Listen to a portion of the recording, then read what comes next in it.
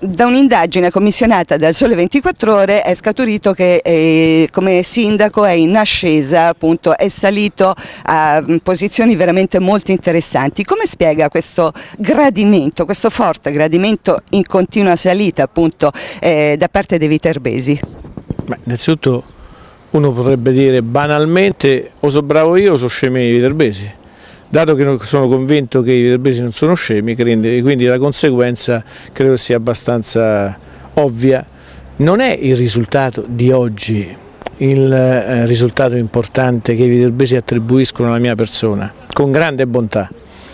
Il risultato che da 15 anni i viterbesi mi attribuiscono, perché non dimentico i risultati di quando ero Presidente della provincia, che eh, naturalmente in un contesto così ampio avevo un ottimo consenso.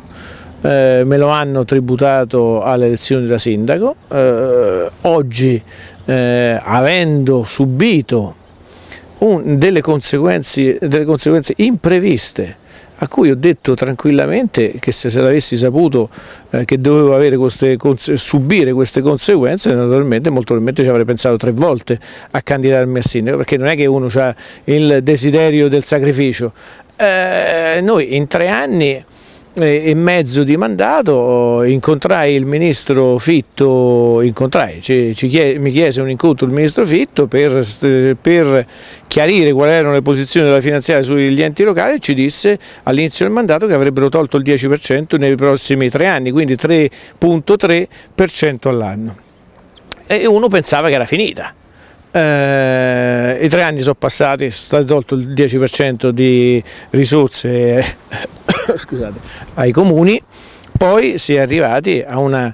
eh, una finanziaria di agosto-settembre eh, pesantissima nei confronti dei comuni.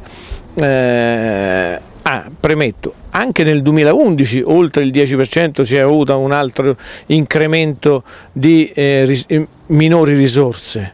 poi si è arrivati alla finanziaria di agosto-settembre e allora giù ancora eh, meno risorse ai comuni e poi c'è voluto Monti per definire ancora giù sotto ai comuni, logicamente naturalmente quando tu vai a diminuire eh, in una città come questa, come quella di Viterbo, diminuire oltre il 10%, ma eh, vai a sfondare il, quasi il 20% di risorse in meno, dicono logicamente ai cittadini qualche cosa eh, devi dar conto. Se questo eh, è il risultato, ho fatto capire che stavo in difficoltà e che i cittadini nella difficoltà hanno eh, avuto un eh, atteggiamento favorevole, comprendendo che ci sono le difficoltà ma che le stiamo tentando di risolvere con serietà. Questo è quello che spero che sia passato.